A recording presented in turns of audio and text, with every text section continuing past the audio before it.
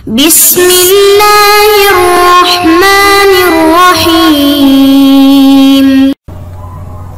السلام علیکم محترم سامعین اور عزیز طلبہ کرام امید کرتا ہوں کہ آپ تمام احباب خیر و عافیت سے ہوں گے آج کا ہمارا سبق نمبر چپن ہے جس میں ہم پڑھیں گے المرۃ والحیہ مرہ کے معنی آتے ہیں ایک مرتبہ مثال کے طور پر ضربا ضربتن اس نے مارا ایک مرتبہ یعنی ایک وار کیا۔ جیسا کہ میں کہتا ہوں، رما زید رمیتن۔ زید نے ایک مرتبہ مارا یا تیر پھینکا، ٹھیک ہے؟ ولحیعتو اس کا لفظی ترجمہ تو شکل کے ہیں، لیکن یہاں پر ہم یوں کہیں گے کہ اس سے نوعیت مراد ہے۔ مثال کے طور پر، جلس القارئ جلستن قاری بیٹھ گئے ایک خاص حیعت کے ساتھ، ایک خاص شکل کے ساتھ ان کی بیٹھنے کی نوعیت الگ ہے۔ اسی طرح مشا الرجل مشیت المختالی مشیہ۔ آدمی چلا ایسے چلنے کے ساتھ کہ اس میں تکبر خیلا اور اکڑ تھی، وغیرہ وغیرہ۔ تو مرہ کے معنی ہے ایک مرتبہ اور حیعت کے معنی آتے ہیں نوعیت شکل کے۔ آئیے ہم مثالوں سے مزید اس بات کو سمجھ لیتے ہیں۔ بسم اللہ الرحمن الرحیم المرۃ والحیعہ الامثلہ اکلت اليوم میں نے کھایا آج اکلتن ایک مرتبہ یعنی ایک مرتبہ میں نے کھانا کھایا ٹھیک ہے دقت الساعت گھڑی نے گھڑی بج گئی یا ہم کہیں گے کوئی وقت تھا جو بجا یا ہو گیا دقتن دقتن ایک مرتبہ یعنی گھڑی نے ایک مرتبہ ہورن دیا ایک مرتبہ فتحت البابا میں نے دروازہ کھولا فتحتن ایک مرتبہ کے ساتھ یا ایک مرتبہ کھولنے کے ساتھ۔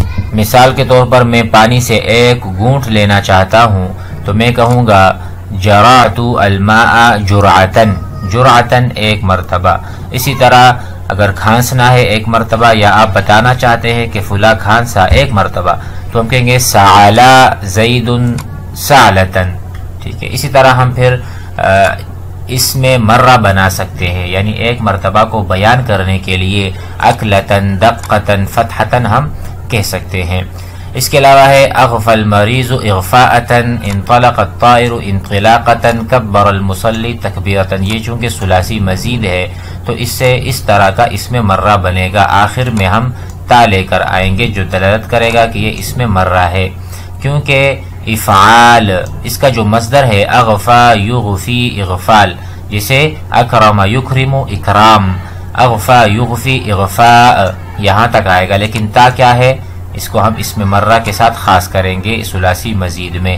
اسی طرح انطلاق انطلاق، انفعال آنا چاہیے، لیکن یہاں پر تا کا اضافہ ہوا ہے، اس کو ہم سیکھیں گے، اس کی وضاحت بھی آ جائے گی۔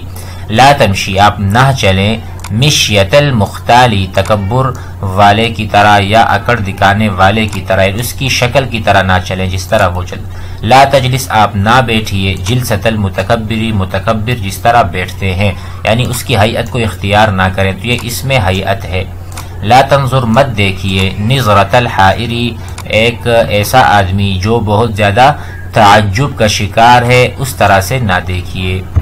بحث سے بات سمجھتے ہیں الکلیمات اکلتن دقتن فتحتن اغفاءتن انطلاقتن تکبیرتن مشیتن جلستن نظرہ کلها یہ تمام کے تمام کلمات تدل، دلالت کر رہے ہیں علی احداث، ایسے احداث، ایسے چیزوں پر مجردہ جو کہ خالی ہے عن الزمانی، زمانے سے فہی مصادر۔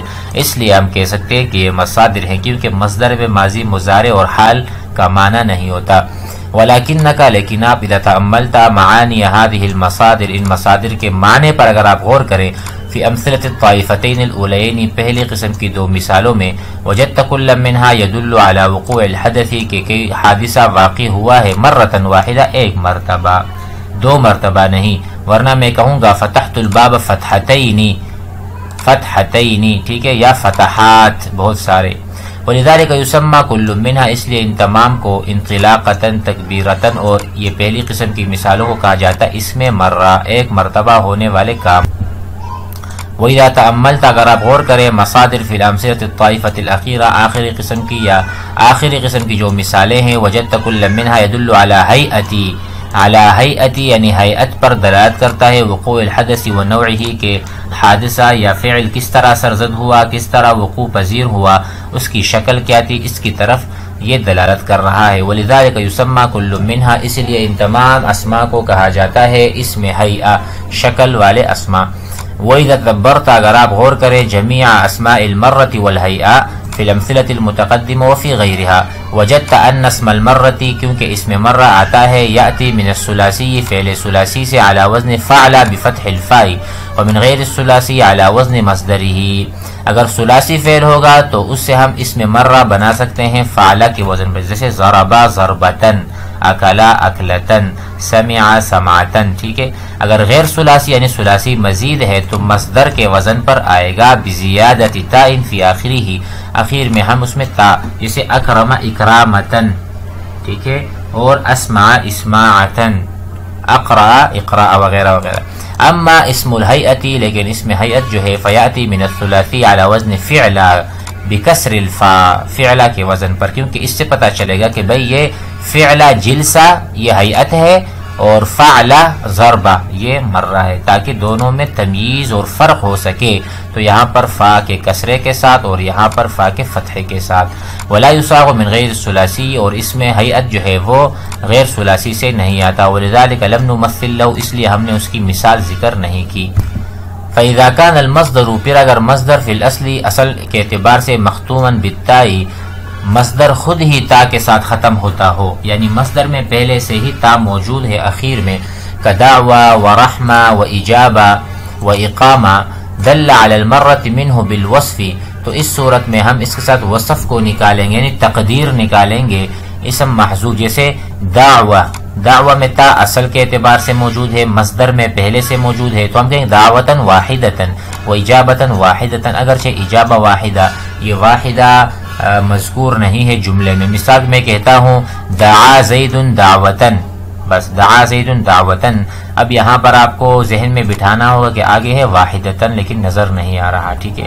وَإِذَا كَانَ مصدر الثلاثی اگر مصدر ثلاثی فی الاصل علی وزن فعلا ہو یعنی خبرہ کے وزن پر ہو، پہلے سے تا اس میں موجود ہے، دل علی الحیعت منہ بالوصف او بالاضافتی تو یا تو ہم اس کا وصف نکالیں گے یا اضافت یعنی مضاف الی نکالیں گے، جیسے خبرہ یہ تو ہے، لیکن اس کے لیے وصف ہم نے مقدر مانا واسعتن خبرتن واسعتن یا ہم کہیں خبرت الکہولی یعنی بوڑھوں کی طرح اس کی، اس کا تجربہ ہے، بہت پرانا تجربہ ہے۔ تو اس سے پتہ چلا کہ اگر حیعت ہوگا اور اس میں پہلے سے تا موجود ہے، تو اس کے لیے ہم وصف نکالیں گے یا مضافلی نکالیں گے مقدرن اسم المرہ کیا ہے؟ مصدر ایسا مصدر ہے، یدل علی وقوع الحدثی کے فعل واقع ہوا ہے مرہ واحدہ ایک مرتبہ واسم الہیہ ایسا ایسا مصدر ہے یدل علی حیعت الفعل کہ فعل کی حیعت کیا ہے حین وقوعہ جب وہ واقع ہوا جسے جلس جلستن تو جب جلوس بیٹھنا واقع ہوا تو اس کی حیعت کیا تھی اسم المرہ تی اسم مرہ یکون علی وزن فعلا اذا کان فعل سلاسی وإذا کان من غیر سلاسی علی وزن المصدر تو وزن مصدر پہ آئے گا بزیاد تا فی اخیص اقامہ زیدن اقامتن اقام زید فی امریکہ اقامتا ٹھیک ہے؟ القاعدہ، اسم الحیعتی یکون علی وزن فعلا حیعت کا جو وزن ہے وہ ہے فعلا الا اذا کان الفعل ثلاثی اس شرط کے ساتھ کہ جب فعل ثلاثی ہو۔ ولا صيغه له من غیر ثلاثی اور اس میں مرہ کے اس میں حیعہ کے لیے غیر ثلاثی سے کوئی وزن نہیں یعنی نہیں آتا۔ اذا كان المصدر مختوما بالتاء في الاصل اگر مصدر پہلے سے ہی تا کے ساتھ ختم ہو رہا ہو، كانت الدلاله على المره بالوصف، تو مرے پر دلالت جو ہے وہ کیا وصف کرے گا؟ لا بصیغتی صیغت سے نہیں صیغے سے نہیں۔ وكذلك الشان اور یہی ہوگا اعتبار فی الدلالت علی الحیعتی اس میں حیعت میں بھی اذا كان الفعل ثلاثی وہاں پر ہم وصف یا مضافلی نکالیں گے، جس کو ہم نے سمجھ لیا ہے۔ آئیے اس تمرین کی طرف۔ اس میں ہم دیکھ لیتے ہیں کہ اس میں مرہ کہاں ہے اور اس میں حیعت کہاں ہے۔ لکل صارم نبوتن ولکل جواد کبوتن۔ ٹھیک ہے؟ اب یہاں پر نبوا یہ مراد ہے،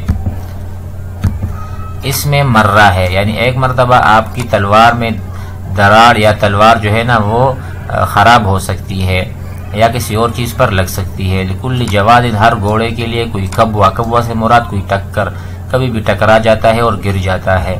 تو کب ہوا ایک مرتبہ گرنا۔ رب سکتن ابلغ من مقالتن۔ سکتہ، ٹھیک ہے یعنی خاموشی۔ ایک کبھی کبھار خاموشی جو ہے وہ بہت زیادہ اچھی ہوتی ہے یا بہت زیادہ مؤثر ہوتی ہے مقالہ لکھنے سے یا پورے مقالے سے۔ استشرت الطبیبہ میں نے ڈاکٹر سے مشورہ لیا استشارتن یعنی ایک مرتبہ مشورہ لینے کے ساتھ۔ تو یہ اس میں مر رہا ہے۔ وقف الرجل، آدمی کھڑا ہوا۔ وقفت الظاہلی وقفہ اس میں حیعت ہے۔ وقفہ کڑے ہونے کے ساتھ الظاہل جو کہ بہت زیادہ حیران تھا یعنی بہت زیادہ حیران۔ ایسے کڑا ہوا جیسے بہت بڑا حیران آدمی کڑا ہوتا ہے کسی زیادہ غم میں۔ رب اکلتن ٹھیک ہے، رب اکلتن منعت، اکلات۔ ہو سکتا ہے کوئی ایک ایسا نوالا یا ایک مرتبے کا کھانا آپ کو منع کر دے بہت مرتبہ کھانے سے، کیونکہ وہ آپ کے لیے مضر ہوتا ہے۔ تو اکلا ایک مرتبہ کھانا کبھی کبھار یوں بھی کر دیتا ہے کہ آپ کو بہت زیادہ کھانے سے منع کر دے، آپ کو وہ کرنا ہوگا، پرہیز کرنا ہوگا۔ ابتسم لنا الزمان، زمانہ ہمارے لیے خوش ہوا۔ یا اس نے تبسم کیا ابتسامتاً ایک مرتبہ خوش ہونے کے ساتھ۔ امید ہے کہ سبق سمجھ میں آ گیا ہوگا۔ اسی طرح ہم تمام تمارین میں مشقوں میں، اس میں مرہ اور اس میں حیات کو ڈھونڈیں۔ السلام علیکم۔